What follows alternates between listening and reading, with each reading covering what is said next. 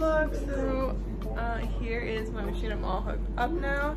Michael Strahan's daughter, Isabella, has hit a major milestone in her cancer treatment. On March 26th, the 19 year old took to her YouTube vlog to share that she was finishing up her second round of chemotherapy. Isabella celebrated the moment alongside her mom and showed off the drawing she's been doing to pass the time while going through treatment. Hey vlog, so last day chemo, I'm pretty sure my chemo's done. Now I have fluids. My cord thing kind of is purple up here, but it's my mom. Gonna make some salad and stay hydrated. And also I decorated the window glass of my, my room. And I'll show you guys what it looks like too. Okay, so this is my recap of what I did in the hospital, second round of chemo, because I didn't want to be bored, and I was less bored than that. Like, it was just su such a better experience. Do my signature cowboys. This, this isn't like put words in, but I didn't do that. And then, my next one, I did these all. This was for my grandma who came visit me. But I forgot to give it to her, so get it to her soon. Here's, um, this is kind of random, but I just like the colors.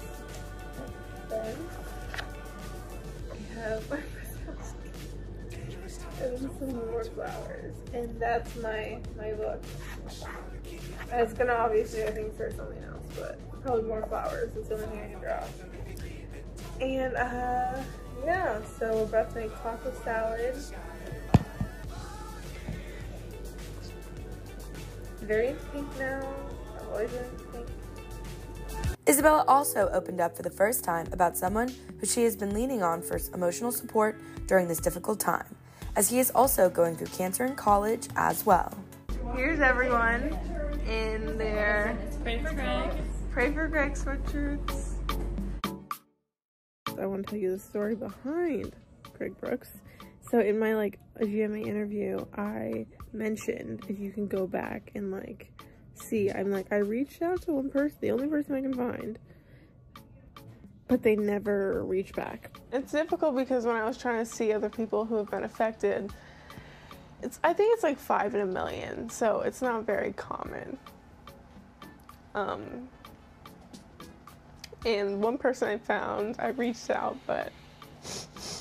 Hey, baby. Okay, take your time. Okay. I was referencing Greg. Um, he is a um, he was a football player at LSU, and he thought he had vertigo, just like me. So I thought our stories were so similar. And then he discovered it was um, not vertigo, and we're on like the same kind of treatment schedules.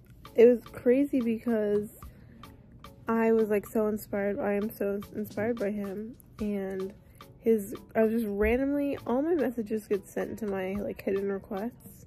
So I was in the Bahamas with my little like my break time between radiation and chemo, and I like decided to just look at like five five names, and it was one of them was Greg's grandmother, who had reached out to me, and I'm like, oh my gosh, this is so crazy because I reached out to him, and who he hasn't been on his phone, but I don't know, we keep in touch like every day and you go check Greg's story out. He's really inspiring, and he's the one that like I I keep very close touch with him, and I can't wait to meet him in person one day.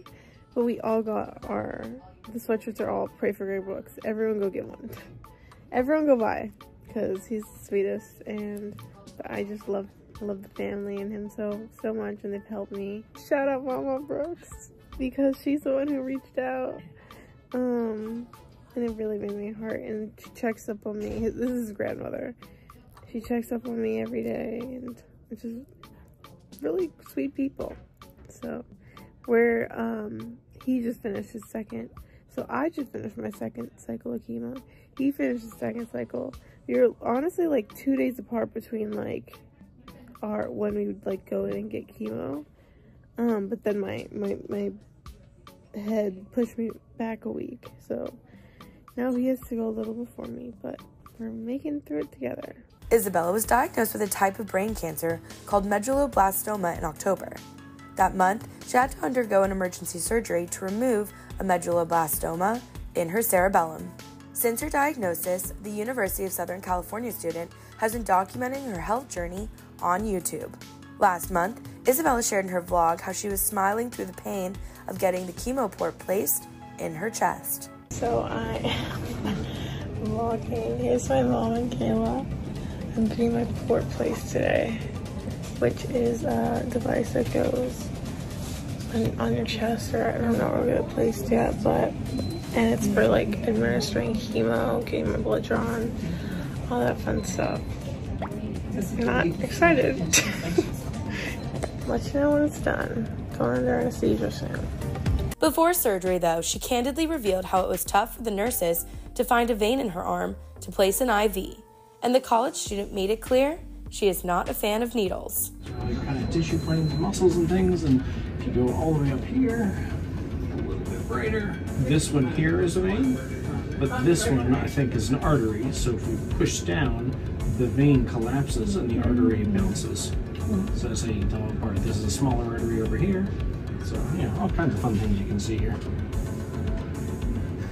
I'll let you know before I stick and just look at it one more time. Make sure Should not have here- looked at it. Oh, Oh, good. So I'm sorry. Alright, here you go.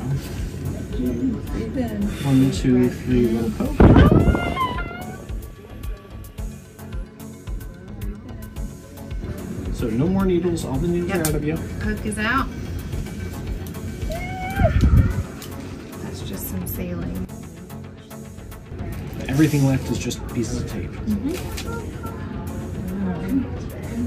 oh, that's a large Oh, that's why it's. Yeah, and you did it. yeah, yeah, yeah. And then this whole big thick thing is is for safety. Once the needle's out, you push this button, the needle all goes in here, and then you can't poke yourself in it. Yeah. And back in January, Michael and Isabel spoke to Good Morning America's Robin Roberts, and they revealed through tears how their family is getting through the tough time. I literally think that in a lot of ways, I'm, I'm the luckiest man in the world because I got an amazing daughter and I know she's going through it, but I know that we're never given more than we can handle and that she is going to crush this. When you get through this next chapter of your journey, what lies ahead for you, Isabella? I'm sorry. I'm tissue.